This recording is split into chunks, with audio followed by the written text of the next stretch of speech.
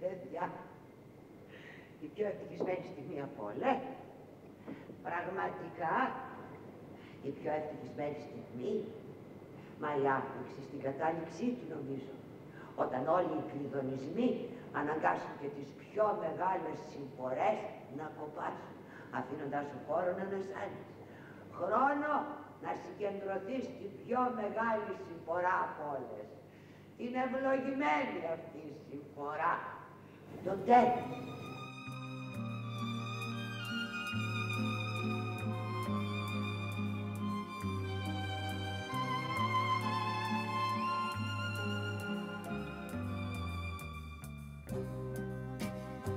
L'amour c'est comme un jour, ça s'en va, ça s'en va.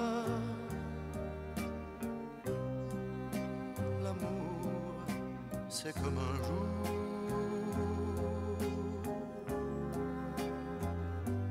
Le soleil en ripaille et de lune en chamaille. Et de pluie en bataille l'amour c'est comme un jour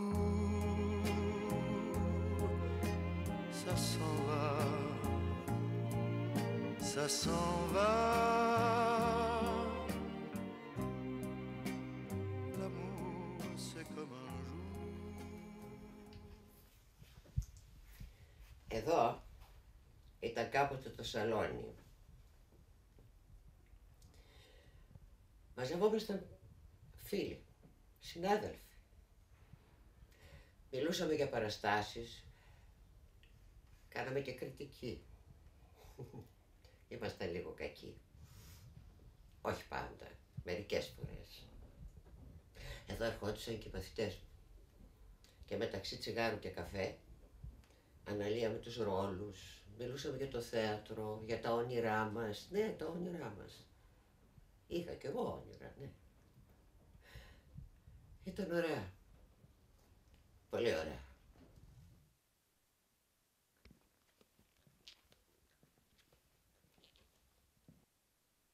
Εδώ είναι το δωμάτιο του ενός γιού μου. Δεν μένει πια εδώ. Μερικές φορές ναι.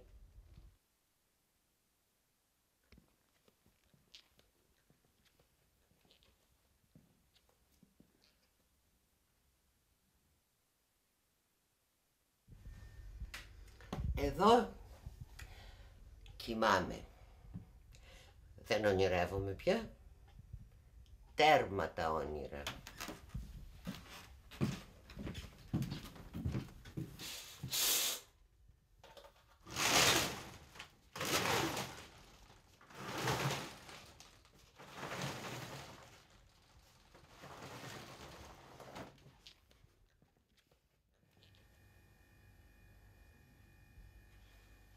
Και ήρθαμε στο κονάκι μου. Εδώ, σε αυτό το δωμάτιο διάβαζα όλους τους ρόλους μου. Με την τηλεόραση ανοιχτή, τα παιδιά να παίζουν. Σήμερα διαβάζω ό,τι μ' αρέσει.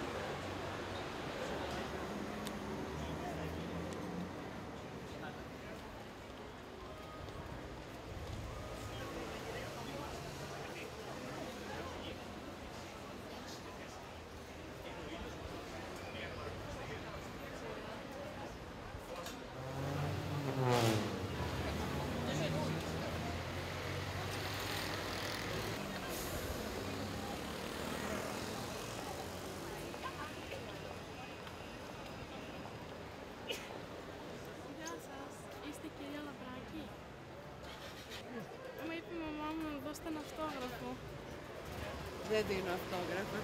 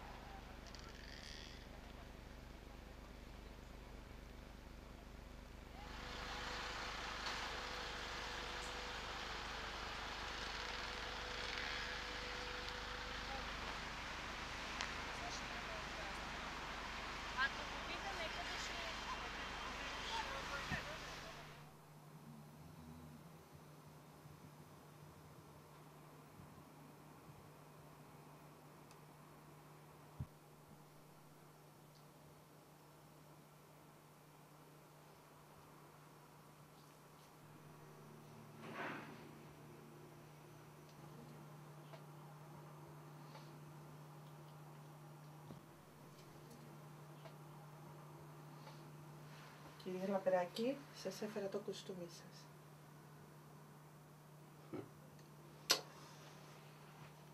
Τέλος καλό, όλα καλά. Έχω ελπίδες πως θα βγει τόσο καλή όσο υπόσχεται η αγωγή της. Τα κληρονομικά της χαρίσματα κάνουν τις μεγάλες ικανότητές της ακόμα μεγαλύτερες. Αυτή η κοπέλα έχει κληρονομήσει εντυμότητα και έχει πετύχει μόνη της να παραμείνει αγνή. Οι έπαινοι σου, κυρία, της φέρνουν δάκρυα στα μάτια. Τα δάκρυα για την κοπέλα είναι η άγνη για να διατηρήσει τα επενετικά λόγια των άλλων προς αυτήν. Όταν η ανάμνηση του πατέρα αγγίζει την καρδιά της πάντα ο τυραννικός καημός της, διώχνει όλη τη λάμψη από τα μάγουλά της. Σταμάτα πια εμένα, γιατί θα αρχίσουμε να υποπτευόμαστε πως προκαλείς θλίψη ψεύτικη για να κρύψεις άλλη αληθινή.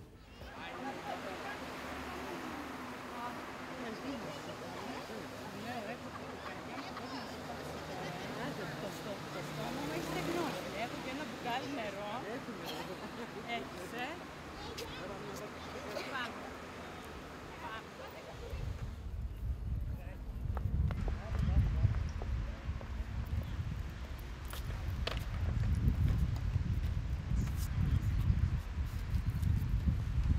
Αλλά ο χρόνος περνάει, άρα μου περνάει, πάω πίσω.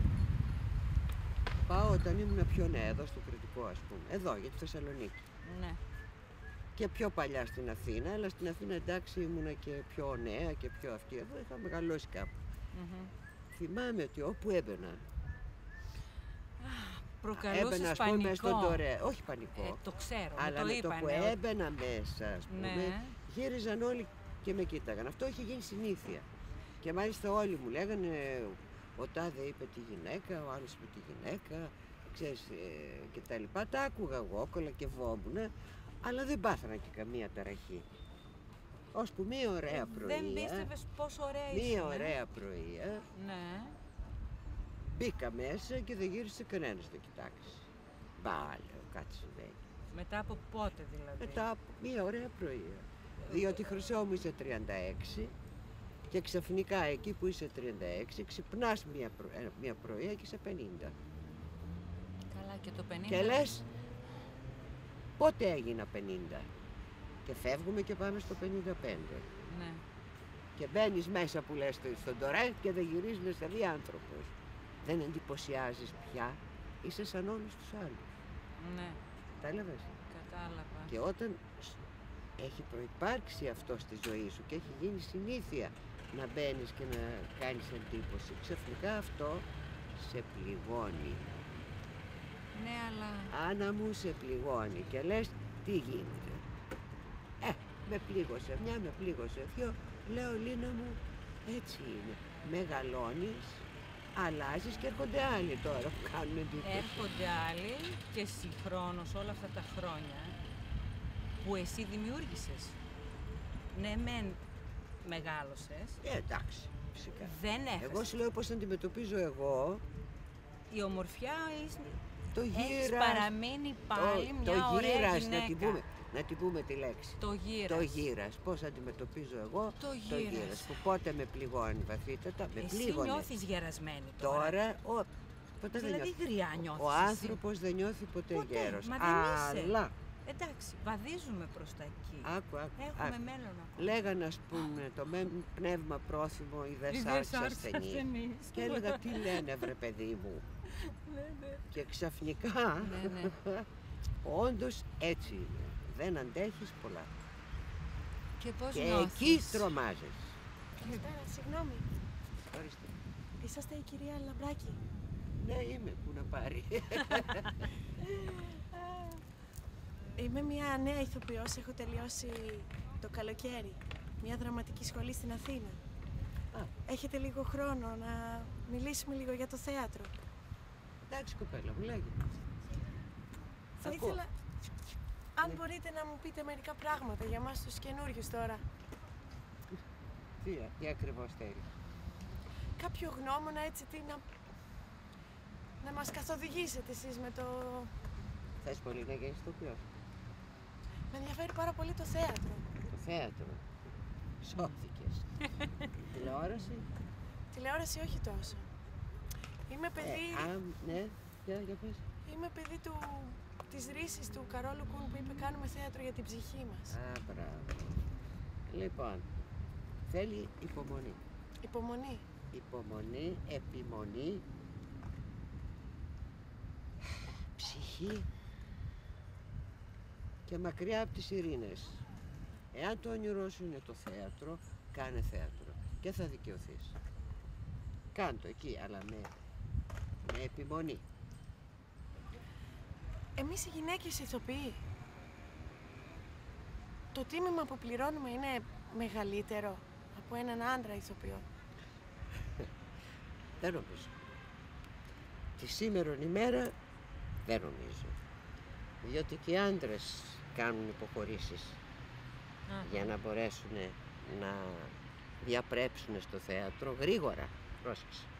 Όποιος πάει αργά, όποιος αποφασίσει ότι αργά θα πάω, σταθερά βήμα-βήμα και θα κάνω θέατρο και όχι να γίνω διάσημος και να βγάλω λεφτά, γιατί αυτό γίνεται τώρα, πληρώνει και αυτός κάποιο τίμημα, όποιο θέλεις. Είτε σεξουαλικό είναι αυτό, είτε Χρηματικό. οτιδήποτε άλλο ας πούμε. Οι παρέες του, ότι πρέπει να κολακεύει ανθρώπους και να τρέχει από το πρωί ως το βράδυ στα μπαρ και στα αυτά και να, να αφήνει δηλαδή τη δουλειά του, να αφήνει την τέχνη, να αφήνει τη, ζω- τη, τη δουλειά που πρέπει να κάνει και να τρέχει να κάνει δημόσιες σχέσεις. Η γυναίκα, οι περισσότερες που δεν έχουν κάνει παιδιά, έχουν μετανιώσει. Είναι τίμημα. Για την καριέρα δεν τα κάνανε τα παιδιά. Δεν είναι εύκολο. Εγώ όταν ήμουν έγκυος στα παιδιά μου, πολύ νωρίς όμως, ήταν ο Βολανάκης εδώ και θα έπαιζα ηλέκτρα στην Επίδαυρο.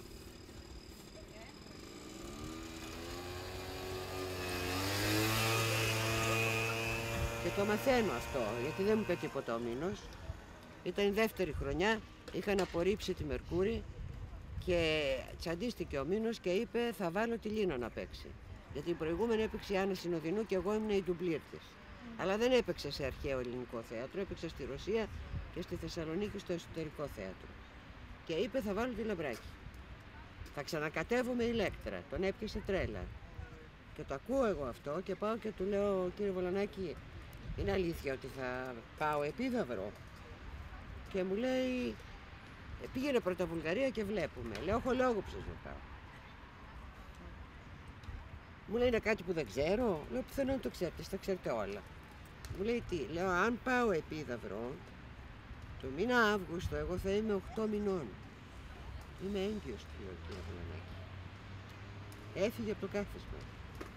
Και μου λέει ήσουν η μόνη που ήμουν σίγουρος ότι έχω. Και του λέω, κοιτάξτε, δεν το έχω και σε τίποτα. Τώρα εγώ είμαι μεγάλη. Επίδαυρος είναι επίδαυρος. Εάν το σκέφτεσαι σοβαρά και αν είναι σίγουρο, εγώ αυτά τα ρίχνω. Το ρίχνω, το. Δεν ήξερα ότι είναι δύο παιδιά. Άλλωστε είμαι μόνη μου και δεν ξέρω αν θα μπορέσω να τη μεγαλώσω. Και γυρίζει και μου λέει την καταπληκτική κουβέντα ο άνθρωπος. Άκουσε Λίνα. Ηλέκτρο θα ξαναπαίξεις. Παιδιά δεν θα ξανακάνεις. Να μην Πώς σε το νοιάζει. ένιωσες να το πεις αυτό. Με συγκίνησες, μικρούλα. Σας ευχαριστώ πολύ για το όμορφο απόγευμα. Να είστε καλά. Χάρηκα που καλά, σας γεια σου. γνώρισα. Καλή επιτυχία σου εύχομαι. Σας ευχαριστώ. Γεια σας Καλή κυρία τύχη. Άννα. Γεια σας. Γεια. Καλή συνέχεια. Γεια κορίτσι μου, γεια.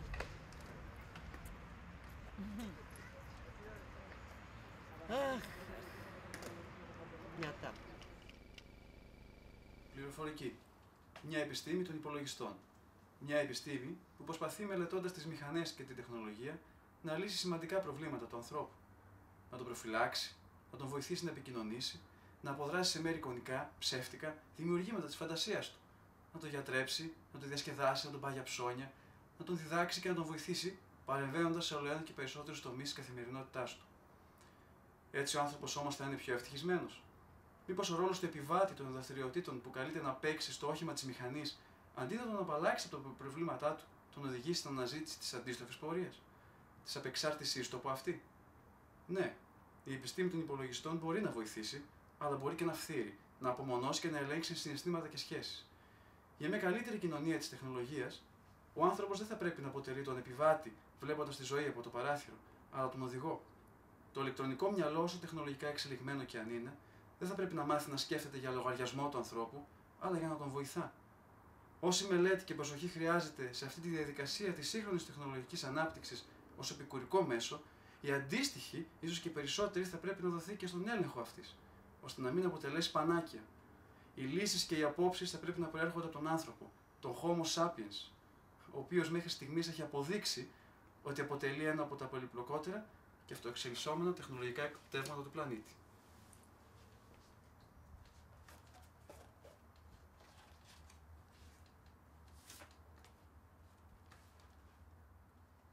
Είναι ανοιχτή για τον καθένα μας η ιδιωτική του οδός. Κι όμως την ακολουθούν ελάχιστοι. Μερικοί μόνο όταν συμβεί μία ή δύο φορές στη ζωή τους να είναι ερωτευμένοι και οι υπόλοιποι ποτέ. Είναι, αυτό, είναι αυτοί που αποχωρούν μια μέρα από τη ζωή χωρίς να έχουν πάρει καν είδηση τι τους συνέβη. Και είναι κρίμα. Είναι κρίμα αυτός ο ισόβιος εγκλισμός στην κυβωτό της ανάγκης, με καθυλωμένες τις αισθήσεις σε υπηρετικό επίπεδο. Και να φταίγε μόνο η έλλειψη παιδείας, εδώ και ένας απελουργός ή ένας ψαράς, εάν είναι αυθεντικοί, φτάνουν από την άποψη της συνειδητοποίησης των δρομένων στον ίδιο βαθμό που φτάνει και ο ποιητής. Μυριάδε ανεπαίσθητε δονήσεις από την πυρωμένη γης ή το πρωινό πέλαγος απενεργούν επάνω τους, με αποτέλεσμα ο ψυχισμός τους να δέχεται και να αποταμιεύει εγχαράξει ανώνυμα θεϊκές. Κάτι άλλο λοιπόν συμβαίνει, που σφραγίζει την ψυχή και σε εμποδίζει να πάρεις θέση απέναντι στο δίλημα που δεν έπαψε ποτέ να θέτει με τον πιο απλό τρόπο η ζωή και στο πρακτικό και στο θεωρητικό επίπεδο. Ή παραμένεις με τις πέντε σου αισθήσεις αγύμναστες και τον ψυχικό σου κόσμο εκτεθειμένο σε συμβάντα επιφανεία που απλώς καταγράφεις, οπότε μείον τη διαφορά της ποιότητας, τοποθετείσαι στην ίδια παράλληλο με τα λαϊκά τραγούδια και τα αναγνώσματα των εβδομαδιαίων περιοδικών, ή αποδέχεσαι καταρχήν την ύπαρξη μυστηρίου. Οπότε θέτεις υπό αμφισβήτηση τα εξαγόμενα κάθε πρωτοβάθμια εμπειρία και εισχωρείς με μια βαθιά τομή στην πραγματικότητα, επιδιώκοντας να ανασυνθέσεις το φαινόμενο της ζωής βάσει των στοιχείων που σου προσκομίζουν οι αποδεσμευμένοι από κάθε προκατάληψη σκέψη αφενός και αφετέρου οι ασκημένες, όπως εναλλαγωνικό αισθήσεις, που ενίοτε αν είσαι τυχερός τις βλέπεις να επιστρέφουν από τα πεδία όπου τις είχες εξαπολύσει, κρατώντας τα δόντια τους θυράματα της ίδιας σπουδαιότητας με αυτά που κατά καιρούς έχουν επιτύχει να χτυπήσουν οι θρησκείες. Στην όξυνση αυτών των αισθήσεων βοηθάει το θέατρο. Αυτά είναι τα παιδιά μου.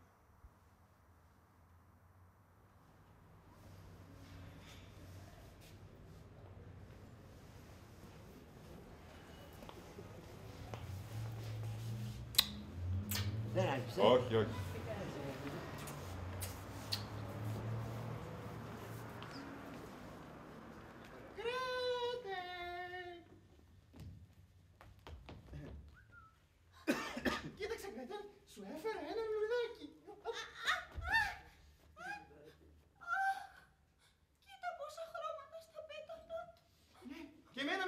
Η ομορφιά του. Σε θάμπωσε! Όλε! Άτσε, γιατί μιλάς έτσι. Από εκεί σε θάμπωσε. Νομίζω πως πρέπει να σταματήσεις να διαβάζεις τόσο. Hey! Μη μου λες εμένα τι να κάνω. Άλλη λέξη δεν βρήκα για να πω. Πόσο αγάπησα το λουλούδι αυτό. Με θάμπωσε σου λέω. Και άλλωστε, το διάβασμα κάνει καλό. Το ξέρουμε αυτό! Κάτι μου λέει πως είναι έτοιμα τα κεφτεδάκια. Άγια μου φαίνεται πως είναι η τελευταία φορά που τέτοιο γεύμα θα φάμε. Μην το λες αυτό, καλή μου. Δεν πειράζει, θα τρώμε μόνο όσπρια και σαρσαπατικά. Θα δεις, όλα θα πάνε καλά. Χειρότερα δεν γίνεται πάντως να πάνε, οπότε... Αν είμαστε αγαπημένοι θα το ξεπεράσουμε κι αυτό. Όχι όπως στην πολιτεία πίσω από το βουνό. Γιατί τι έγινε εκεί; Ο κόσμος χωρίστηκε από τη φτώχεια και τις έγνοιες και έτσι μόνους και δυστυχισμένους τους τρώει στεναχώρια. Δεν ξέρουν τι να κάνουν για να γίνουν ξανά ευτυχισμένοι. Τι κόσμος κι αυτός που ζούμε. Έκανα το φαγητό πάνω στο τραπέζι. Η σαλάτα στη θέση της κι αυτή. Μπράβο στη μαγείρισα και στους σερβιτάρους.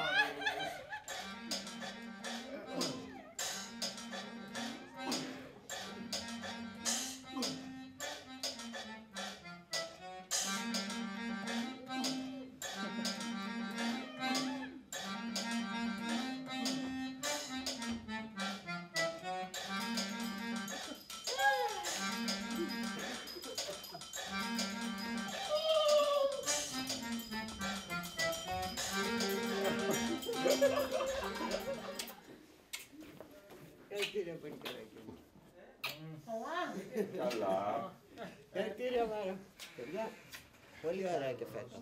Πάρα πολύ ωραία. Όχι, δεν το πιστεύω.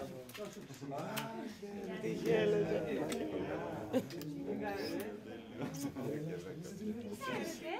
σου. Φοβερό. Τι γίνεται. Αυτός είναι ο Θανάσης. Και ο Πώς Και ο Θεός και ο Μπουριάκης, ο ευτυχικός, ο Κούπερο. Ο Θείος που άλλαξε τόσες φορές σχέσεις, που έγινε ποντικός, που έγινε μάγισσα, ε; Έχουν μείνει. Στην υγεία σου. Στην υγεία σου. Αν και Ε, ήμουν απτώμα. Ένα ήσουν μικρό αυτόμα, πτώμα. ε; Γιατί, Εξετάσεις χτες. Εξετάσεις. Χτες και προχτές. Εισαγωγικές στη σχολή. πώς πήγανε; Καλά. Γιατί το λες έτσι; Γιατί γελάω. Ναι. Για την Νίκο μου, 190 παιδιά παίζανε σαν να τα έχει σκηνοθετήσει και να τα έχει διδάξει ένας άνθρωπος. Ένας. Δεν γίνεται. Πού νομίζεις ότι οφείλεται αυτό; Ε, τώρα να πω το στερεότυπο η τηλεόραση. Έχει χαθεί η ποικιλία. Δεν υπάρχει ποικιλία, δεν υπάρχει φαντασία. Θυμάσαι ο Μπέρχαρτ που έλεγε ότι τι νεολαία είναι αυτή βρε παιδάκι μου στον προορισμό που Ναι, ναι, ναι. ανεβάσει. Αυτοί ακόμα δεν βγαίνουν στη ζωή. Κοιτάνε πώς θα εξασφαλίσουν τα προστοζήν, ένα καλό μισθό, ένα ωραίο αυτοκίνητο και σύνταξη. Με το που θα βγουν από, τα, από τη σχολή, κοιτάνε πώς θα εξασφαλίσουν τη σύνταξή τους. Είχε πολύ δίκιο ο άνθρωπος. Το θέμα είναι ότι ευτυχώς υπάρχουν κάποιοι άνθρωποι οι οποίοι συνεχίζουν. Συνεχίζουν να είναι εκτός. Ναι, κυκλώματος. είναι εκτός, αναπόφευκτο. Και το σαν θεωρώ. άνθρωποι και σαν, σαν ζωή, ας πούμε, απομονώνονται. Δεν ξέρω, γίνεται διαφορετικά πια; Τι πράγμα; Γίνεται διαφορετικά πια; Δεν μπορεί, πρέπει να γίνει.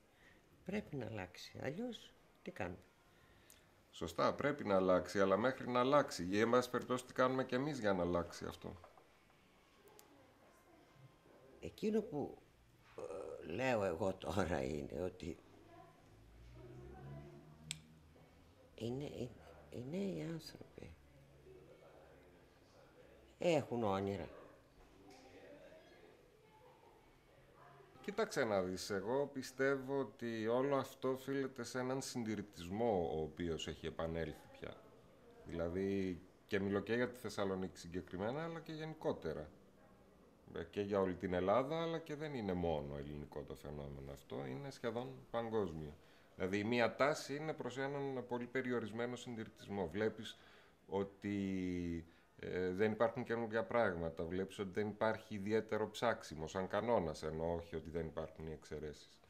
ε, βλέπεις ότι οι άνθρωποι γίνονται πιο εσωστρεφείς. Δεν υπάρχει επικοινωνία, η οποία είναι η βάση του θέατρου. Έτσι. Αυτό ακριβώς, ναι. Ε, Είναι κατεξοχήν ζωντανή σχέση, θέλω να πω. Ε, βλέπεις ότι όλοι ασχολούνται με το μικρό κόσμο τους. Δεν υπάρχει έτσι ένα άνοιγμα προς τα έξω. Ε, δεν υπάρχει ένα ενδιαφέρον για καινούργια πράγματα, για καινούργιες ιδέες, καινούργιες προτάσεις. Από την άλλη θέλω να πιστεύω ότι τα πράγματα είναι έτσι ακριβώς επειδή δεν υπάρχουν οι, τολμη, τα, οι τολμηρές εκείνες κινήσεις, ας πούμε, ε, οι οποίες ε, πραγματικά θα έφερναν ξανά τον κόσμο. Είναι αυτό που λέγαμε και πριν. Δηλαδή είπες, ανέφερες ένα παράδειγμα, ναι, ας πούμε, στο τάδε θέατρο γιατί γίνεται αυτό και δεν υπάρχουν και άλλα. Χρειάζεται κουράγιο, χρειάζεται μια αίσθηση αντίστασης απέναντι σε όλα αυτά τα πράγματα. Και θυσίας έτσι. πολλές. Και θυσίας πολλές φορές, αυτό είναι αλήθεια. Αλλά βλέπεις ότι το περιβάλλον κάθε άλλο παρά βοηθάει τέτοιες κινήσεις, ίσα ίσα. Ε, τις φρενάρει. Έχεις δίκιο. Είναι η εποχή που σου λέει ζήσε χωρίς ιδέες. Ε, όχι. Πρέπει να αλλάξει αυτό. Πρέπει να αλλάξει. Εγώ θέλω να γίνω άνθρωπος. Όχι, δεν έχω κάποια ιστορία. Δεν μπορώ να διαλέξω καμία ιστορία, να σας πω. Η ιστορία είμαι εγώ. Θέλω να, να είμαι εδώ. Θέλω να είμαι μαζί σας. Αν δεν θέλετε να με αγκαλιάσετε, είμαι έτοιμη να το δεχτώ κι αυτό. Γιατί εγώ πρώτη σας έκλεισα έξω. Απλώς δεν έχω τον τρόπο να φέρομαι. Είμαι τελείως ηλίθια.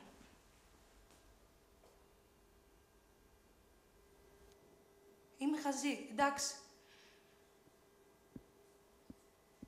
Θα με αφήσετε όμως μέσα στα σκατά. Θα με αφήσετε μέσα στα σκατά να, να, να, να μένω μέσα στα σκατά να κολυμπάω. Το ξέρω, εγώ, εγώ, εγώ, εγώ πρέπει να, να είμαι εκεί. Εγώ πρέπει να βγω στο φως. Βοηθήστε με όμως, δώστε μου μια ευκαιρία ακόμα. Γιατί είμαι εδώ, δεν έφυγα. Είμαι εδώ. Δεν θέλω να, να πεθάνω. Θέλω να ζήσω. Το πρωί ξύπνησα πάρα πολύ άσχημα. Δεν θέλω να σας το μεταφέρω αυτό. Δεν είναι σκοπός μου αυτό, αυτό το βάρος. Α- αλλά είναι η αλήθεια. Είδα έναν τρομερό εφιάλτη. Είδα τον Πορφύρι κομματιασμένο στα δύο. Ζούσε το μισό από πάνω. Και το άλλο μισό ήταν σε μια κούτα. Το από πάνω νιαούριζε και πρέπει να τον πάω στο γιατρό. Θα σας πω όμως και κάτι καλό. Θα σας πω και κάτι ευχάριστο. Μέσα στην κουζίνα, στον καναπέ μου, κοιμότανε ένας άντρας. Αυτός ο άντρας ήταν δικός μου πριν λίγο καιρό. Τώρα καταφέραμε να βρίσκεται στο ίδιο σπίτι με μένα, να αγαπιόμαστε, να κοιμόμαστε χώρια και να, και να κοιμάται αγκαλιά με τον Πορφύρι.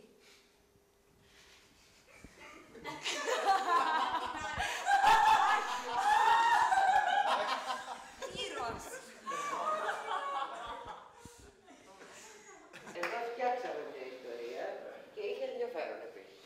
Για τα δική της ιστορία. Είχε πολύ ενδιαφέρον. Ε, είσαι λίγο σφεγγένερες βέβαια, περίεργο παιδί. Και αυτό μετράει στο θέατρο, το περίεργο. Ε, ήταν πολύ ευχάριστη η έκπληξη αυτή. Μπράβο. Δηλαδή έφτιαξε μια ιστορία τώρα, τώρα. Δηλαδή είμαι εγώ. Είμαι εγώ, δεν θέλω να πω. Δεν θέλω να πω μια ιστορία, λέω για μένα. Να, εντάξει. Άλλο. Α, ωραία. Οχ, θα βάλω και λίγο νεράκι μέσα, γιατί... Ευχαριστούμε τον Έβαλα εγώ. Έβαλα εγώ. Έβαλα Ε, εγώ. ε, Παλιό μην καλό ξέρεις συνήθεια. καλά, μην ξέρεις καλά, μην ξέρεις καλά. Δεν μου λες, ρε Τζόρτζ, τι κάνεις τώρα σε αυτό το καιρό πάλι; Κάναμε χθες την πρεμιέρα, το παιδικό, ναι. Και τώρα κάνουμε το Blasted, κάνουμε πρόβες. Εδώ, Θεσσαλονίκη, κάνεις πρόβες πάλι ή σε καμιά Αθήνας; Είσαι. Όχι, ρε, εδώ, εδώ. Πάνε αυτά τα αθηναϊκά. Πάνε. Πάνε περιοδίες. Όσο και αν μ' αρέσει εσύ η ζωή σου, αυτό που κάνεις, που φεύγεις, που πηγαίνει σε διάφορες πόλεις, διάφορα μέρη, δεν θα μπορούσε έτσι ποτέ να το σκεφτόταν τον εαυτό μου σε αυτό το πλαίσιο, σε ηθοποιός, έτσι. Ενώ μ' αρέσει, μ' αρέσει η ζωή σου.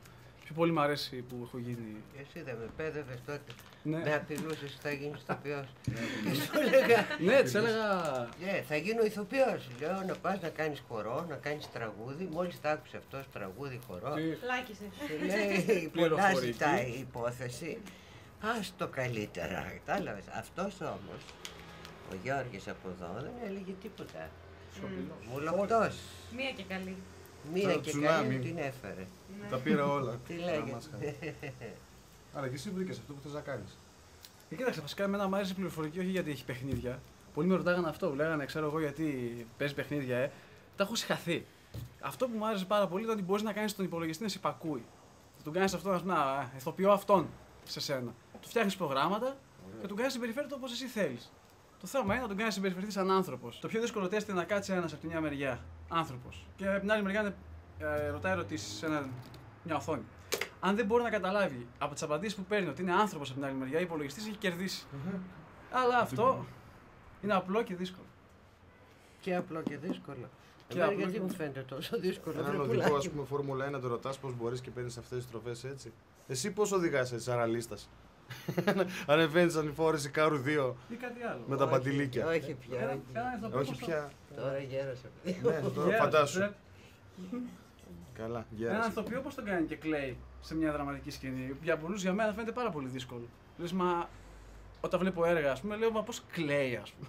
Προσπαθώ να κλάψω και δεν μπορώ. Με τι, πού, από πού. Εσύ βρίσκεις δύσκολο που πατάω εγώ κουμπιά. Εγώ βρίσκω δύσκολο που κλαις. Σωστά. Και μου είναι και πολύ εύκολο. Α το κλάμα στο δράμα. Άσε καλά, ναι. Τα πάντα Εκεί μεταφράζονται. πια κι αν είμαι. Έχω φάει και τη βουγιουκλάκη στο κλάμα. Όταν βλέπω δηλαδή ένας, σε μια σκηνή στο οποίο να κλαίει με ένα συνέστημα που ίσως να του είναι πολύ άσχετο, πολύ άγνωστο. Πώς κλαίει, πώς καταφέρει και κλαίει, δηλαδή έτσι προξενείς, θυμάσαι παλιές σκηνές, κάτι που χάσε. Τι κάνεις, βάζεις τα γόνια. Απλώς όταν μπαίνεις μέσα στο ρόλο, έτσι πιστεύω, έτσι δεν είναι νόνι. Όταν μπαίνεις μέσα στο χαρακτήρα και μπαίνεις στην κατάσταση που είναι ο ρόλος, γιατί ο ρόλος είναι ζωντανό, δεν είναι λέξη σε ένα βιβλίο. Όταν λοιπόν μπει εκεί, συγκινείσαι και κλαις, πραγματικά δηλαδή. Δεν έχεις κανένα μηχανισμό; Όχι, τίποτα. Στην εξορία του Μάτεση, τι σκεφτόσουν, πώς ήσουν τόσο επιτυχής; Δεν σκεφτόσουν κάτι σε σχέση με τη ζωή σου, με τον ρόλο, με αυτά; Κοίταξε, αυτά είναι και εμπειρία ζωής, παιδί μου. Δεν ξέρω τώρα τι σκεφτόμουν. Αυτά τώρα πια εγώ τα έχω ξεχάσει. Εσύ, Γιώργο, Κατάλαβες. Εγώ μπαίνω τώρα, μπαίνω κατευθείαν, πλάτς, κλαίω. Γίνομαι κακιά, γίνομαι απέσια, γίνομαι αστεία, γίνομαι όλα αυτά τα πράγματα πάρα πολύ άνετα. Τώρα και στην εξορία βέβαια, είχα και εκεί την, την ε, ευτυχία να μπορώ να τα κάνω αυτά τα πράγματα, χωρίς να καταλαβαίνω για πώς το κάνω. ας πούμε. Ναι, αυτό θέλω να πω εγώ, ότι σαν ε, προγραμματιστής σκέφτομαι επιστήμη. πάντα. Περίμενε λίγο, σκέφτομαι πάντα με μηχανισμούς. Γι' αυτό και ρωτάω, ας πούμε, δεν μπορεί όμως. Εσύ, Γιώργο, ας πούμε, δεν έχεις κάτι; Άντε καλά, η μάνα είναι πιο παλιά, πόσα, 50-60 χρόνια στο θέατρο, είσαι; 40. Ε, Εσύ τώρα που Βέβαια, βγαίνει. Δεν είμαι και παπόγρια. Γιατί, ξέρεις τι, έχω δει. Όχι. Κορίτσι μου, εσύ. Ναι, ναι, ναι. Έχω δει εγώ. Έχω δει διάφορων ειδών συναισθήματα. Αλλιώς κλαίει όταν χάνει το παιδί του ηθοποιός και αλλιώς κλαίει όταν ε, χάνει απλά την μπάλα του, ξέρω εγώ. Δεν κλαίει το, δεν κλαίει το ίδιο. Δεν μπορείς να έχεις ένα ίδιο συνέστημα, αλλά κάτι θυμάσαι. Εσύ, ρε παιδιά, Ίσως είναι και από τα ευκολότερα πράγματα. Το κλάμα, ναι. Το κλάμα. Το δυσκολότερο πολλές φορές είναι να συγκρατηθείς από αυτό. Πολλές φορές σου ζητείτε να συγκρατηθείς ναι, αυτό είναι από τη το συγκίνηση. πέρα- πέρα Δηλαδή από να τον δημιουργήσεις πόνο. τη συγκίνηση στο, στο θεατή, αλλά εσύ να μην ε, Εγώ θυμάμαι κλάψεις. τον Νίκο του Σακαλίδη. Μου έλεγε ότι στην εξορία ειδικά αυτός ο φοβερός μονόλογος με τον ε, ε, πες τον, τον Εσατζή, αυτός ο μονόλογος, εγώ Πες, τον πες, έβγαζα πες, και έκλαιγα φυσικά. Με άφηνε να κλαίω και μετά μου είπε τώρα βάλε το κλάμα μέσα, είναι Ναι. πέρα από τον πόνο. Διηγείσαι τελείως ψυχρά όλη αυτή την ιστορία, σαν να λες ας πούμε, είδες τι μπορεί να πάθει ο άνθρωπος. Δηθείτε. Εμείς, μαρμαρωμένες, Μίλησα, δεν δεινόσαστε. ντυθήκαμε. Βρώμικες, κοκαλιάρες, μια προσβολή που το πήγαινε δεν ξέρω. Να πληθούμε, να μας βασανίσει, να μας λυμπιστεί έτσι συχαμένες που είμαστε, όχι. Θα μας εκτελέσει, λέω. Ας κοιτάξω τον ήλιο, πας και δεν το ξαναδώ. Μας κράτησε έτσι κοντά μια ώρα. Μετά ξεπώνει. Κατεβάζει το πανταλόνι. Αργά να το χαρεί. Μέχρι τα γόνατα. Μετά ανοίγει το σόβρακο, τα αφήνει να πέσει και κατούρισε. Μπροστά μας. Ύστερα δεν συμμαζεύτηκε, δεν κουμπόθηκε, απόμεινε έτσι, σαν να μην είμαστε.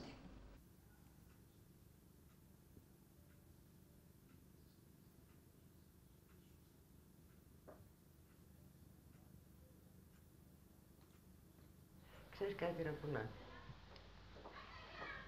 Τώρα που έχω πολύ χρόνο, πολύ χρόνο, κάθομαι και σκέφτομαι ορισμένα πράγματα. Σκέφτομαι σένα. Σκόρδα να έχεις, πώς τα έχεις καταφέρει ρε παιδί μου τόσα χρόνια. Και ζεις με έναν άνθρωπο τον οποίο αγαπάς και σε αγαπάει με δυσκολίες, γιατί είστε και δύο εκρηκτικοί χαρακτήρες, δεν είστε, δεν αστείευεστε. Σε βλέπω όμως, είναι ο Νίκος σου. Αφοσιώνεσαι σε αυτούς που αγαπάς. Εγώ βλέπω σε μένα δηλαδή πόσο πολύ έχεις αφοσιωθεί. Και σκέφτομαι εγώ τι έκανα στη ζωή μου. Ε, βέβαια, εγώ σου έχω... σου έχω πει πράγματα τρελά, δηλαδή, για τους χωρισμούς μου. Και έχουμε πεθάνει στο γέλιο, αλλά δεν ήταν για γέλια. ε. Δεν ήταν καθόλου για γέλια. Εκείνο που σκέφτομαι είναι ότι εγώ δεν αφοσιώθηκα ποτέ σε έναν άντρα. Πώς είναι άραγε ρε κουλά; Τι πρέπει να έχεις υπομονή; Πρέπει να έχεις και υπομονή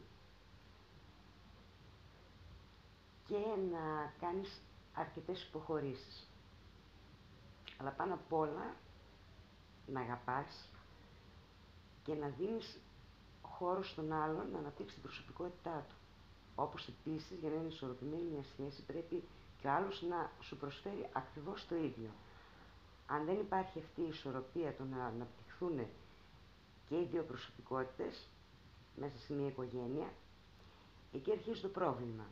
Είπες ας πούμε ότι πρέπει να βρεθεί και το άλλο ήμιση το οποίο να σου δίνει χώρο, να σε καταλαβαίνει, να...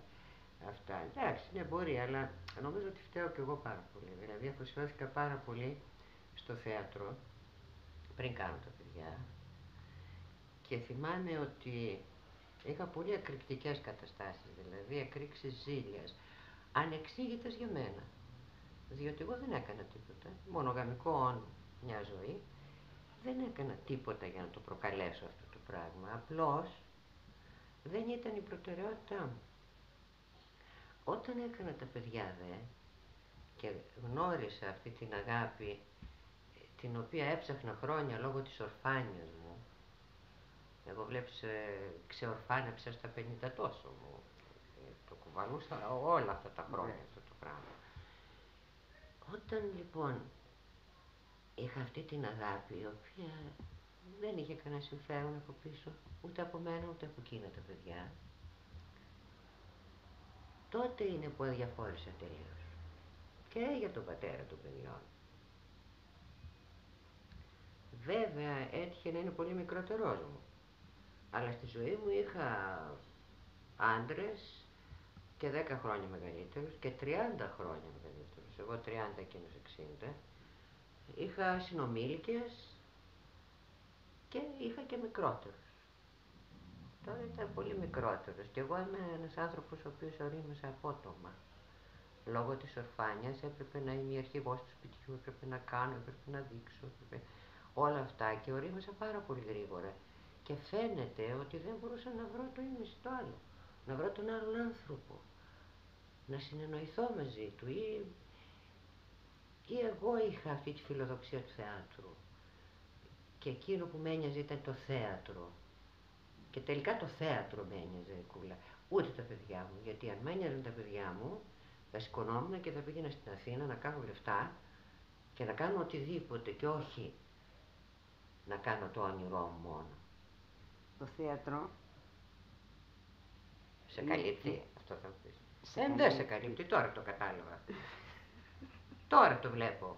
Πού είναι το θέατρο, όχι, όχι. Πού είναι να με καλύψει, μέσα στη μοναξιά. Δεν είναι. Απλώς αναρωτιέμαι τι στην ευχή πήγε λάθος, γι' αυτό σε ρωτάω. Σε όλη μου τη ζωή. Και δεν έμεινα με έναν άνθρωπο που το όνειρό μου ήταν να βρω έναν άνθρωπο και να γεράσω μαζί του. Και φυσικά φταίω εγώ. Δηλαδή δεν μπορώ να σκεφτώ ότι φταίει ο άλλος απέναντι. Μην το λες όμως αυτό, Γιατί γιατί- θέλει μια αφοσίωση ο άλλος, Βρεκούλα. Και ήμουν πολύ ανόητη και δειλή και ηλίθια και έκανα βλακίες. Παλικαρισιές έκανα. Έτσι πιστεύω, ότι έκανα παλικαρισιές ας πούμε. Και όταν παλιά, πριν γίνουμε φίλες... Έβγαινε η αρσενικάδα μου. Όχι. Ίσα ίσα. Ίσως γι' αυτό οι άντρες. Άντε παλιά, Μπορεί. εγώ εκεί το γυρίζω. Μπορεί. Μπορεί. Μπορεί. Θες, στα γεράματα. Δεν ξέρω. Δεν Άσε, ξέρω. τι να σου πω, είδα ένα όνειρο. Έχει καιρό, αλλά δεν το ξεχνάω. Και είδα, λέει, ότι ερωτεύτηκα. Και ερωτεύτηκα όπως μικρή. Ξέρεις που τον βλέπεις τον άλλο και πεταρίζει η καρδιάς σου. Και αυτό το συνέστημα το είχα ξεχάσει. Δεν ήξερα τι είναι. Και το έζησα στον ύπνο και λέω, Θεέ μου, τι όμορφο που είναι. Όταν βγαίνουν και λένε ότι οι κρατικές σκηνές είναι για όλους τους ηθοποιούς, το άκουσα και από προσωπικότητα του θεάτρου τέλος πάντων, σε εισαγωγικά, έξω από εισαγωγικά δεν έχει σημασία, ότι τα κρατικά θέατρα είναι για όλους τους ηθοποιούς. Πώς είναι για όλους τους ηθοποιούς; Όποιος αντέχει στο ρεπερτόριο, όποιος είναι αφοσιωμένος για να το υπηρετήσει. Όταν οι ηθοποιοί όταν φτάσουν σε ένα ύψος καριέρας, τους απομονώνουν γιατί γνωρίζουν και οι μετριότατοι σκηνοθέτες οι οποίοι διαλέγουν για να φαίνεται η γραμμή τους και όχι ο ηθοποιός. Γιατί οι μεγάλοι ηθοποιοί γίνανε όταν οι σκηνοθέτες ήταν χωρίς αυτή την εξουσία που έχουν τώρα. Τώρα πας και βλέπεις παράσταση και ακούς τους νέους να λένε ο σκηνοθέτης και η σκηνοθετική γραμμή, ενώ παλαιότερα έλεγαν η Αρώνη, η Κιβέλη, ο Μινωτής, η Λαμπέτη. Ποιος σκηνοθέτης; Από κάτω ήταν και έλεγε ο Μινωτής δε, που λατρεύουμε και οι δυο μας και η Παξινού, ο Μινωτής ποτέ δεν δέχτηκε τον όρο σκηνοθέτης. Ποτέ. Έλεγε ένας ηθοποιός είμαι, ο οποίος ρυθμίζω τα πράγματα. Εμείς τους βάλαμε πάνω στο κεφάλι μας, εμείς παραδοθήκαμε και τώρα χορεύουν. Και πας και βλέπεις παραστάσεις, ανεβαίνουν πράγματα, κατεβαίνουν πράγματα, καπνί, διαφάνειες, πράγματα, θάματα και δεν συγκινείσαι. Εγώ έχω καιρό να πάω σε παράσταση και τραγωδία κυρίως και να σηκωθεί η τρίχα μου. Βλέπω. Ένα έργο τέχνης πρέπει να σε ταξιδέψει. Έτσι. Να σε ταξιδέψει ένας πίνακας, να σε ταξιδέψει μία μουσική, να σε ταξιδέψει ένα βιβλίο, να σε ταξιδέψει μία παράσταση, να σε κερδίσει. Να... Και να μην καταλαβαίνεις τι γίνεται, εσύ να είσαι μέσα. Έχει αυτό μείνει- το όνειρο, δεν, αυτό δεν, υ- δεν το βλέπω, ίσως επειδή έχω κλειστεί στη Θεσσαλονίκη, αλλά και στην Αθήνα ένας βοιατζής είναι αυτός που παλεύει, είναι κι άλλοι βέβαια. Ναι, ναι, ναι, εντάξει. Προσπαθούν νέες δυνάμεις, εγώ είμαι πολύ με τους καινούριους.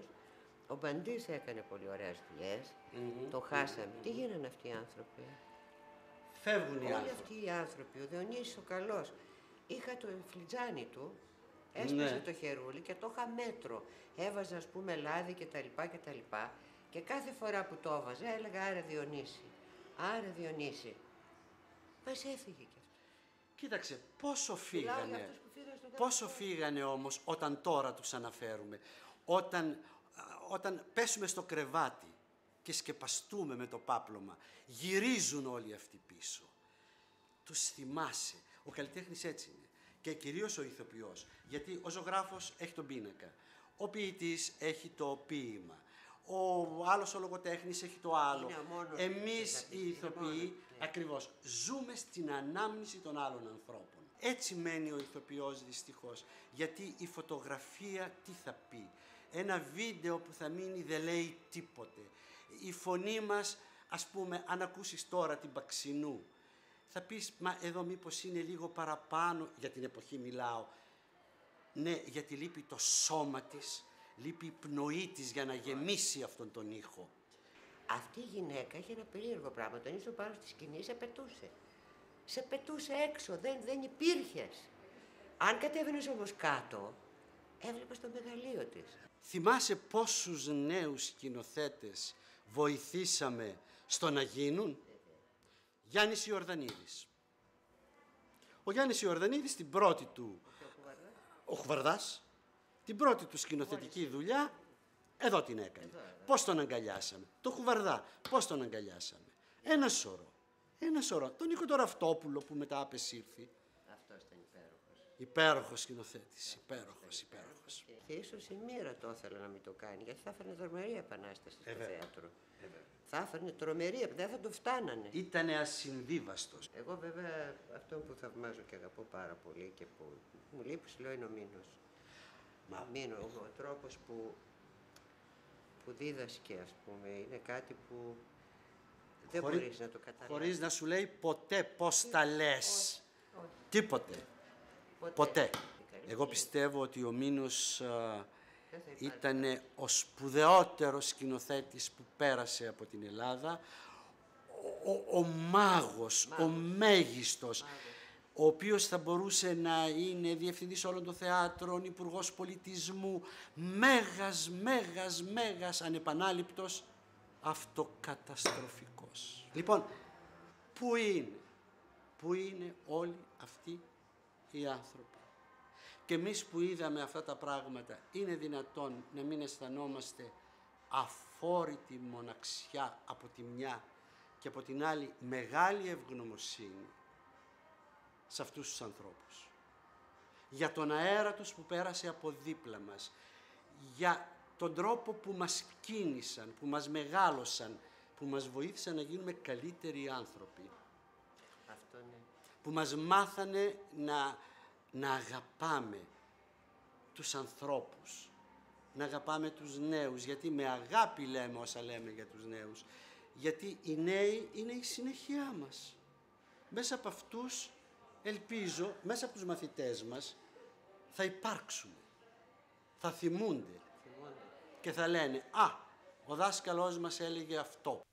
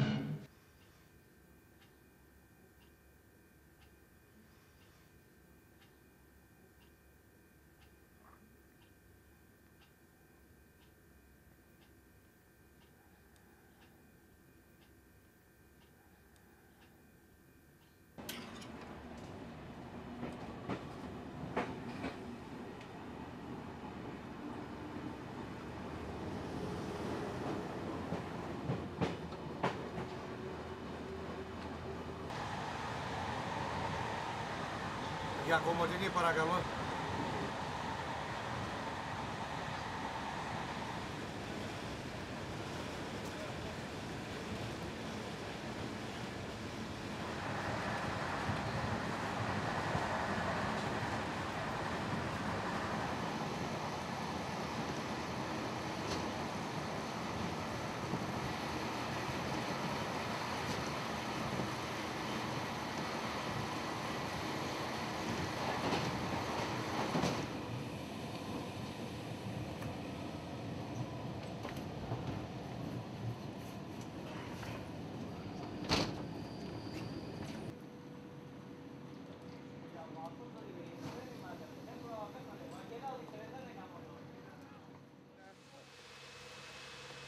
Αυτό είναι το σπίτι που μεγάλωσα. Εδώ πέρασα τα παιδικά μου χρόνια. Δεν ήταν έτσι βέβαια. Ήταν μονοκατοικία με υπόγειο. Εκεί είχαμε τα σκυλιά μέσα. Ο πατέρας μου ήταν κυνηγός, ήταν γιατρός. Δερματολόγος, αφροδοσιολόγος. Εδώ ερχόταν το παϊτόνι και τον έπαιρνε και τον πήγαινε στους οίκους ανοχής βεβαίως, όπως καταλαβαίνετε ως αφροδοσιολόγος. Ε, εγώ ήμουν λίγο δύσκολο παιδί, πεισματάρικο και επειδή η μαμά μου με αδικούσε πολλές φορές χτυπώντας με άδικα, τις νύχτες, επί ανταρτοπολέμου μιλάμε τώρα, για να την τιμωρήσω, έβγαινα το βράδυ, αφού είχα κοιμηθεί όλοι, και βολτάριζα, και στην Κομωτινή. Έφτασα και σε σημείο ε, να φτάσω σε ναρκοπαίδιο. Ευτυχώς δεν πάτησα καμιά νάρκη. Ε, ή έμπαινα εδώ στο πάρκο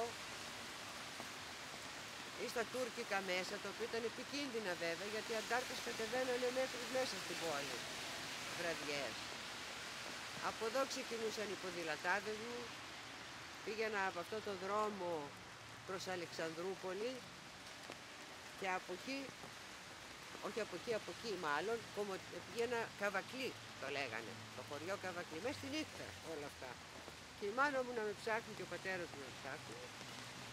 Και φυσικά κάποια στιγμή γύριζα, βλέποντας τα φώτα αναμένα όλα, η μαμά μου να κλαίει, να ορίεται, έχασα το παιδί μου, ο πατέρας μου να λέει σταμάτα κλεονίκη και όλα αυτά. Αυτά είναι. Όταν έρχομαι στην Κομωτινή μένω στο Δημόκριτο ακριβώς για να είμαι απέναντι από το σπίτι μου και απέναντι από το πάρκο. Συνήθως κλαίω. Τώρα βρέχει και δεν μπορώ να κλάψω. Συνήθως κλαίω όταν έρχομαι. Δεν μπορώ να συνηθίσω ότι έφυγα από την πατρίδα μου.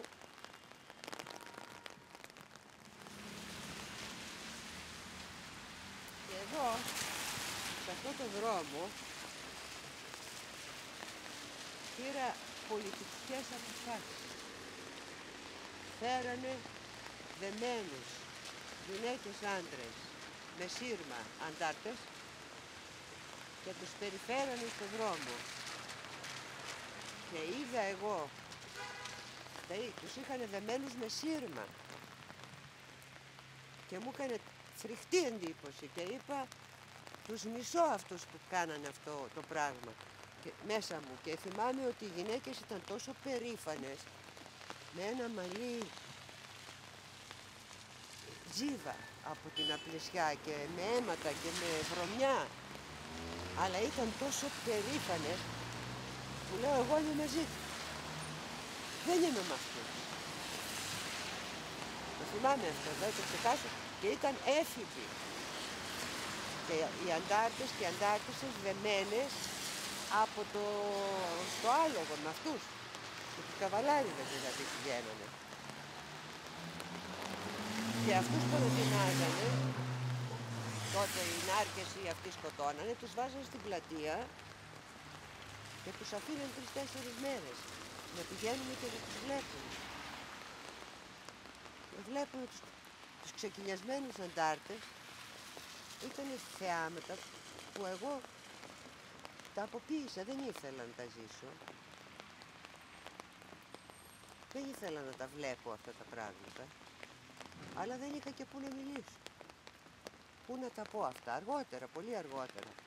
Τα συζήτησα και πήρα μια θέση απέναντι στα πράγματα. Ήταν συγκλονιστικές εικόνες αυτές που, που είχα δει. Εδώ λοιπόν. Τα έζησα όλα αυτά.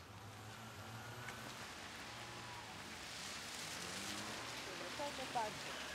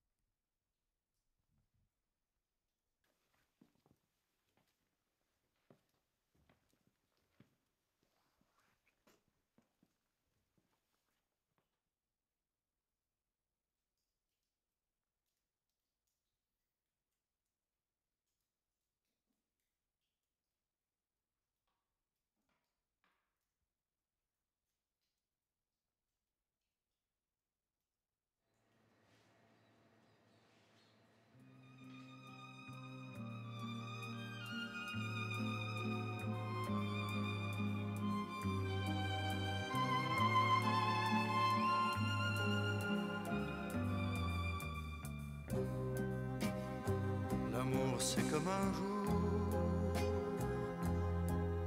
ça s'en va, ça s'en va.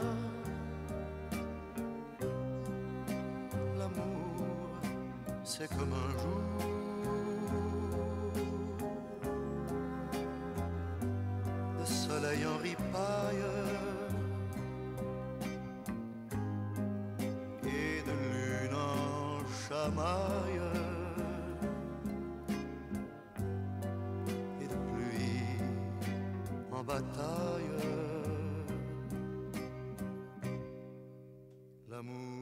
C'est comme un jour